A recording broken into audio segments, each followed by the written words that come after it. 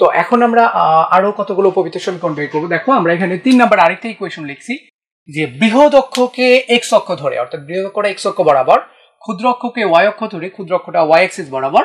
হলে এমন উপবৃত্ত সমীকরণ নির্ণয় করো যার ই এর মান দেওয়া আছে। দেখো, উৎকেন্দ্রিকতা। ই মানে উৎকেন্দ্রিকতা, ওরা বাংলাও বলে দিতে পারে। উৎকেন্দ্রিকতা হচ্ছে ওয়ান বাই থ্রি এবং এখানে উ, ল, দ বলছি আমরা। উ, ল, দ মানে উপকেন্দ্রিক লম্বের দৈর্ঘ্য হচ্ছে আট একক। দুইটা কন্ডিশন আমাদের দিয়ে দেওয়া আছে। উৎকেন্দ্রিকতা দেওয়া আছে এবং উপকেন্দ্রিক লম্বের দৈর্ঘ্য আট একক দেওয়া আছে, আমাদের উপবৃত্ত সমীকরণটা চাইছে। তো এক সলিউশনটা আমরা করে ফেলি। আমরা ফার্স্টে কি করব? উপবৃত্ত সমীকরণ ধরে নিব। যেহেতু তারা বলে দিয়েছে আমাকে যে বৃহদক্ষ এক্স অক্ষ বরাবর, ক্ষুদ্রক্ষ অক্ষ বরাবর দ্যাট মিনস এ হবে এখানে বড়, কারণ বৃহদক্ষ হচ্ছে এক্স তাহলে আমরা উপবৃত্ত সমীকরণ ধরে নিই। ধরি উপবৃত্তের সমীকরণ হলো X square by A square plus Y square by B square equal to one এটা এক নাম্বার ইকুয়েশন এখানে অবশ্যই এ গেটার দেন বি ওরা বলে দিছে আমাকে। তারপরে বলছে কি যে, উৎকেন্দ্রিকতা ই এর ভ্যালুটা ছিল ওয়ান বাই থ্রি আর উপকেন্দ্রিক লম্বের দৈর্ঘ্য, উপকেন্দ্রিক লম্বের দৈর্ঘ্য আমরা কত জানি এখানে? আমরা জানি টু ইন্টু ছোটর উপর স্কোয়ার ডিভাইডেড বাই শুধু বড়টা। এই জায়গাটা কেয়ারফুল কিন্তু আমি বলেছিলাম যে টু ইন্টু ছোটর উপর স্কোয়ার ডিভাইডেড বাই শুধু বড়টা। তাহলে টু এখানে ছোট কোনটা? অবশ্যই বি কারণ বলে দিচ্ছে বৃহৎ এক্স অক্ষ বরাবর। আর বড় বড় অক্ষরটা কোনটা? শুধু এ। এইটার মান দেওয়া আছে কত? এইট অর্থাৎ এখানে দুইটা ইকুয়েশন আমরা দেখতে পাচ্ছি, একটা এটা, আরেকটা হচ্ছে এটা। ই এর ভ্যালু দেওয়া আছে এবং two B square by A এর ভ্যালু দেওয়া আছে এইট এই দুইটা ইকুয়েশন সলভ করে আমাদেরকে কি করতে হবে? ই এর মানটা এবং উপকেন্দ্রিক লম্বের দৈর্ঘ্য। এই দুইটা সলভ করে আমাদের এ আর বি এর মানটা বের করতে হবে। এটা আমরা ইজিলি সলভ করতে পারব, আমরা একটু করে ফেলি। দেখো, এখানে তাহলে বি স্কোয়ারের ভ্যালুটা কত আসতেছে? টু দ্বারা কাটলে ফোর ফোর এইট এটা এখানে থাক। এই বি স্কোয়ারের মান যদি আমরা জানি, ওই বি স্কোয়ারের মানটা ই তে বসায় দিলে আলটিমেটলি আমরা কি পাবো? এর মানটা পেয়ে যাব, দেখো। তো আমরা এখানে মানটা বসাই দিই। ই ইকুয়েশনটা কত ছিল? আমি যদি ই স্কোয়ারের মানটা বের করি ই স্কোয়ার সমান সমান ওয়ান বাই নাইন তাহলে ই স্কোয়ার সমান সমান কত? ওয়ান মাইনাস ছোটোর উপর স্কোয়ার ছোটটাকে বি স্কোয়ার বাই বড়র উপর square A square equals to কত? ওয়ান বাই নাইন তাইলে এখানে আমরা B square by A square equals to one minus one by nine অর্থাৎ নয়, আর এখানে চলে যাবে আট। তাহলে এখানে বি স্কোয়ারের মানটা কত ছিল? Four A divided by A square equals to eight by nine এই চার দ্বারা এ আটকে কাটলে থাকবে দুই, এ এ এ কাটা চলে যায়। তাহলে এর ভ্যালুটা আমরা পেয়ে যাচ্ছি কত? নাইন বাই টু দেখো, এর মানটা আমি পেয়ে গেছি। এর মানটা যদি এখানে বসায় দাও, তাহলে বি স্কোয়ারের মানটা একবারে পেয়ে যাবা। তাহলে B square equals to four into এর মানটা কত আসছে? নাইন বাই টু তাহলে দুই, এটা কাটলে দুই হবে। তাহলে নয় দোকানো আঠারো, অর্থাৎ বি স্কোয়ারের ভ্যালুটা আমি পেয়ে যাব এইটিন আমাদের যেটা দরকার ছিল, আমরা বারবার বলে আসছি, এরকম উপবৃত্ত সমীকরণ যদি দেওয়া থাকে এ আর বিটা বের করা লাগবে, দুইটা কন্ডিশন জানা লাগবে। দুইটা কন্ডিশন থেকে আমরা এ আর বির মানটা বের করব। এই দুটো এ আর বি এর বি স্কোয়ারের মানটা আমরা এক নম্বরের সমীকরণ বসাই দিই। এক থেকে আমরা কি পাচ্ছি তাহলে দেখো? X square by A square এটা কত ছিল? নাইন বাই টু অর্থাৎ তার উপরে স্কোয়ার দিতে হবে। অর্থাৎ এইটটি ওয়ান আর উপরে যাবে হচ্ছে four plus Y square by B square B স্কোয়ারের মানটা কত? একবারে সরাসরি আঠারো ইকোয়াস টু ওয়ান এটা হচ্ছে আমাদের তিন নাম্বারের উপবৃত্তটা। তো আমি বারবারই বলতেছি, একই কাজ এ আর বি বের করা লাগবে, দুইটা কন্ডিশন খুঁজবা তুমি। আরেকটা কথা খুব ভালো করে মনে রাখবা, যদি কোনো ইকুয়েশনে ই দেওয়া থাকে কেয়ারফুল ই যদি দেওয়া থাকে, আর একটা কন্ডিশন অবশ্যই এ আর বি বের করার দেওয়া থাকবে, অথবা এ বির মধ্যে রিলেশন দেওয়া থাকবে। এ বির মধ্যে রিলেশন থাকুক আর এ বির যে কোনো একটা মান থাকুক, বের করে নিয়ে সেটা ইতে বসাই দিলে আমরা আরেকটা ভ্যালু ভ্যালুটা পেয়ে যাব, আরেকটা এ আর বি এর আরেকটা ভ্যালু পেয়ে যাব। চার নাম্বারটা আমরা একটু দেখি। সরি এটা তিন ছিল। এখন আমরা চারের সলিউশনটা দেখব। চার বলছে সিমিলার বৃহদক্ষ এক্স অক্ষ ওয়াই ক্ষুদ্রক্ষ ওয়াই অক্ষ ধরে এমন সমীকরণ বের করো, যার উপকেন্দ্র দ্বয়ের মধ্যবর্তী দূরত্ব হচ্ছে আট একক। এবং দ্বিকাক্ষ দ্বয়ের মধ্যবর্তী দূরত্ব হচ্ছে আঠারো একক। আমরা মনে হয় দেখে আসছি যে এইটা যদি কখনো উপকেন্দ্র উপবৃত্ত হয়, উপকেন্দ্র এখানে একটা থাকে, এখানে একটা থাকে। এবং এই উপকেন্দ্র দ্বয়ের মধ্যবর্তী দূরত্ব কত? এটা কোঅর্ডিনেট কত? এ কমা জিরো তাহলে এখান থেকে এই পর্যন্ত হবে টু এ ই উপকেন্দ্র দ্বয়ের মধ্যবর্তী দূরত্ব, দ্বিকাক্ষ এখানে একটা থাকে, এখানে একটা থাকে।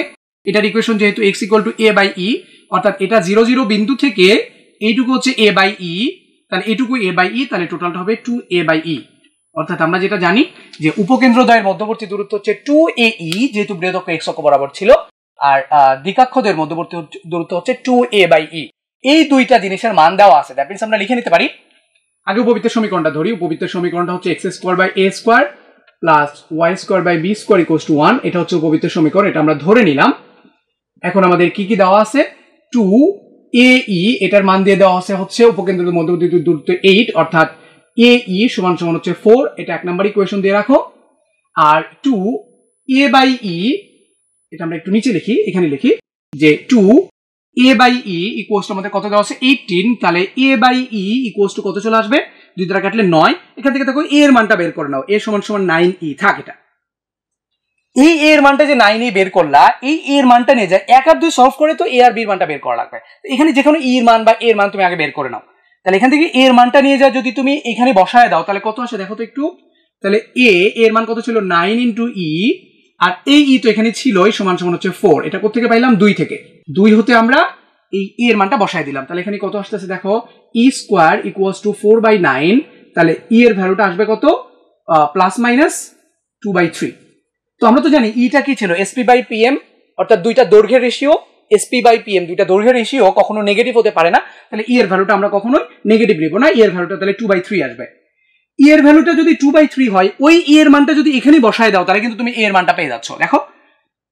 তাহলে A equals to nine into E এর মানটা বসায় দাও। কত আসতেছে? টু বাই থ্রি এই তিন দ্বারা রেখে কাটলে হয় তিন। তাহলে এ এর মানটা একদম সরাসরি পেয়ে গেল তুমি সিক্স ই এর ইকুয়েশন জানো আর এ আর বি এর মধ্যে যে কোনো একটা মান তুমি জানো।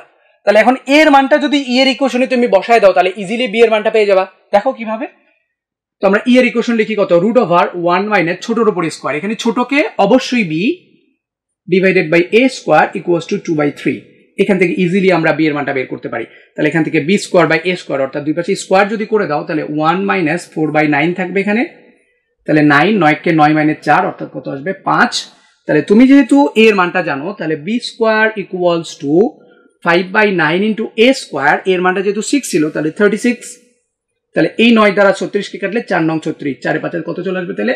বিশ। অর্থাৎ সরাসরি আমি বি স্কোয়ারের মানটা পেয়ে গেলাম টোয়েন্টি তাহলে এর মানটা হচ্ছে সিক্স বি এর মানটা হচ্ছে টোয়েন্টি তো এরকম দুইটা কন্ডিশন আমাদের দেওয়া থাকবে। দুইটা কন্ডিশন থেকে আমরা ইজিলি এ আর বি এর মানটা বের করতে পারি। এখন এর মান সিক্স আর বি এর মান টোয়েন্টি নিয়ে যাও ইকুয়েশনে বসাই দিবা। তাহলে উপবিত সমীকরণটা পেয়ে যাবা।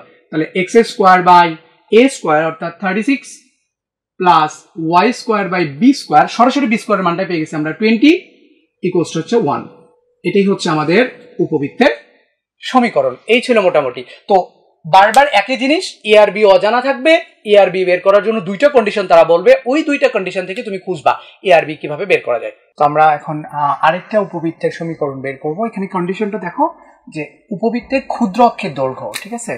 এই ক্ষুদ্র অক্ষের দৈর্ঘ্যটা বলছে কি, উপকেন্দ্রীয় দয়ের মধ্যবর্তী দূরত্বের ইকুয়াল আর কি। উপকেন্দ্র যেটা ছিল, সেই উপকেন্দ্র দয়ের মধ্যবর্তী দূরত্ব আর ক্ষুদ্র অক্ষের দৈর্ঘ্য হচ্ছে সমান। এবং এখানে আরেকটা কন্ডিশন তারা বলে দিচ্ছে যে উল দ অর্থাৎ উপকেন্দ্রিক লম্বের দৈর্ঘ্য দেওয়া ছিল দশ একক, বলছে উপবৃত্তের সমীকরণটা নির্ণয় করো। তো আমাদের যেটা করব আমরা, ওই আগের মতোই কাহিনী, আমরা ধরে নিব, ধরি উপবৃত্তের সমীকরণ কত?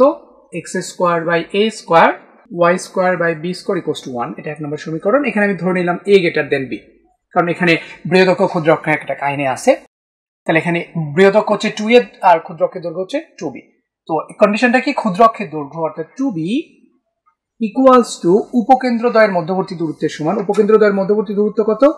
টু এ ই এটা হচ্ছে দুই নাম্বার কন্ডিশন এবং এখানে আরেকটা কথা বলে দিচ্ছে। দেখো যে উপকেন্দ্রিক লম্বের দৈর্ঘ্য। তো উপকেন্দ্রিক লম্বের দৈর্ঘ্য কত? টু ইন্টু ছোটোর উপর স্কোয়ার ডিভাইডেড বাই বড়টা ইকুয়াল টু কত? দশ। এই যে দুইটা ইকুয়েশন দুই নাম্বার আর তিন নাম্বার, এই দুইটা ইকুয়েশন সলভ করে এ আর বির মানটা আমাদের বের করতে হবে। খুবই সিম্পল তো আমরা এখানে কি করব দেখো? যে two b square equals to দুই দ্বারা কেটে দিই এটাকে, পাঁচ। তাহলে এখানে চলে আসলো কত? বি স্কোয়ার ইকুয়ালস টু ফাইভে ওকে এটাকে তিন নাম্বার দাও তুমি। তো বি স্কোয়ার ইকুয়ালস টু ফাইভে এখন এই বি স্কোয়ারের মানটা আমরা এখানে বসায় দিব। তো তার আগে কি করে নিই আমরা? দুই পাশে স্কোয়ার করে নিই। তাহলে b square equals to a square into e স্কোয়ারের মান কত? ই স্কোয়ার ইকুয়ালস টু আসবে হলো ওয়ান মাইনাস ছোটোর উপর স্কোয়ার ডিভাইডেড বাই বড়োর উপর স্কোয়ার অর্থাৎ b square by a square তাহলে এ স্কোয়ার এখানে যদি একটা লসগু করে দিই আমরা এ স্কোয়ার স্কোয়ার কাটা চলে গেল। এখন আমরা দেখতেছি two b square equals to a square এখন আমরা বি স্কোয়ার মানটা জানি। বি স্কোয়ার সমান কত? Five a two into five a equals to a square একটাই একটাই কাটা চলে যায়, কারণ এ নট ইকুয়াল জিরো তাহলে এ ভ্যালু পেয়ে গেলাম আমরা টেন এখানে লিখে দিবা এ যেহেতু জিরো নয়। জিরো নয় বলেই কিন্তু দুই পাশ থেকে এটা কাটা গেছে জিরো ছাড়া অন্য কিছু। তাহলে এর ভ্যালু পেয়ে গেলাম আমরা টেন এই এর ভ্যালু দশ, এখানে বসাই দেবো, তাহলে আমরা বির ভ্যালুটা পেয়ে যাব। তাহলে b square equals to five into ten অর্থাৎ ফিফটি তাহলে বি স্কোয়ার ইকুয়ালস টু আমরা পেয়ে গেলাম কত? পঞ্চাশ। অতএব আমরা ইকুয়েশন লিখে দিতে পারি x square by a square এটা কত ছিল? দশের উপর square y square by b স্কোয়ারের সরাসরি ভ্যালু হচ্ছে ফিফটি ইকুয়ালস টু ওয়ান এটাই ছিল আমাদের মেইনলি ইকুয়েশনটা